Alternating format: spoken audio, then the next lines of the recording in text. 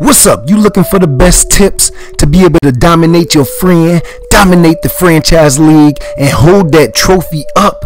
Well, look no further than my Patreon page. The link is also in the description. I appreciate all y'all, and we're gonna start rolling out these shout outs for all the Patreons that's been rocking with your boy. Patreon.com slash phatdollaz ENT. This is where you're going to find all the exclusive breakdowns, and everybody that becomes a Patreon will get a free Madden 19 ebook. Let's go. What's up, gamers? It's your boy Phatdollaz bringing you some exclusive Madden 19 footage from Teus.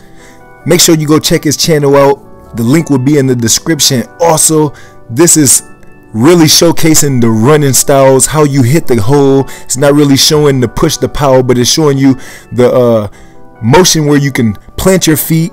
As you can see the running back right there he's the wide open hole right there.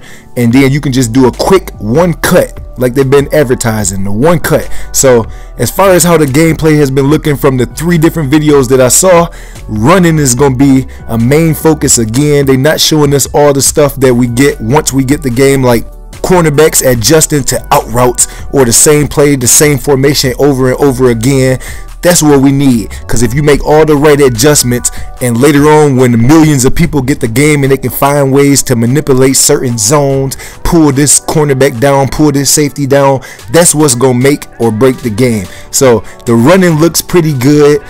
I don't hope everyone has the same kind of ball carrier vision where they can do all these crazy spin moves or put jukes together in a combo. But if you got an elusive back, you should be able to do that. Now this is a bigger back right here, so we definitely don't want all this happening on a regular basis with the battle ready stuff popping up over the top of the screen and you can break three or four tackles and everybody else just fall over. It looks just like Madden 18 that right there don't show a skill gap early in the game. People gonna be making unnecessary touchdowns off of that. What if he did that and then broke for an 80 yard touchdown?